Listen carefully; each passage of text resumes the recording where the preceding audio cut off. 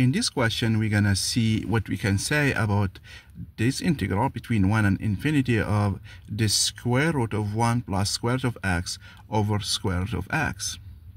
So this might seem uh, uh, difficult in the beginning because this is an improper integral.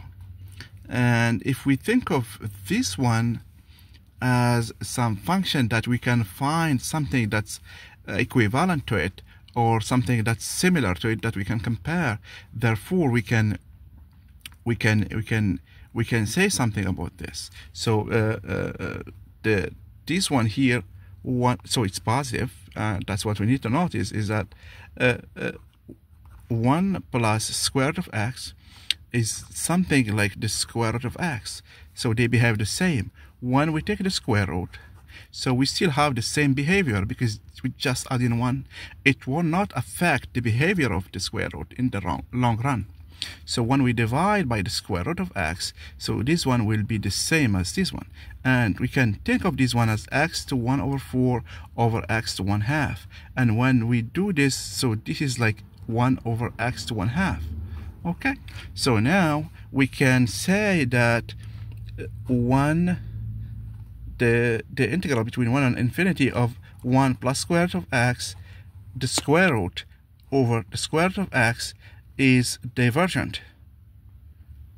Okay, why? Because we have this one here, 1 over x of 1 half dx is divergent because we know this one is convergent one we know in general that between 1 and infinity 1 over x to the power alpha dx is convergent 1 alpha is bigger than 1 here we have 1 over 2 is less than 1 uh, therefore the behavior of this one is the same as of this one. Since this one is divergent this one is divergent as well.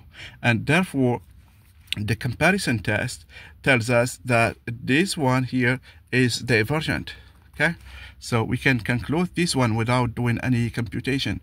Uh, making it complicated if we want to just change the square root of x to some y and keep working yes so this one will will will, will get you just by reducing the, uh, the the square root but this is a quickest way of finding something that's comparable to this one and uh, try to use it.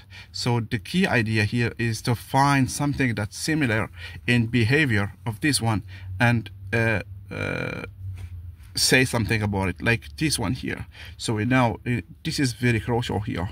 So this one here helps us a lot when we compare. Okay. So this one shows that this one is, this integral is divergent.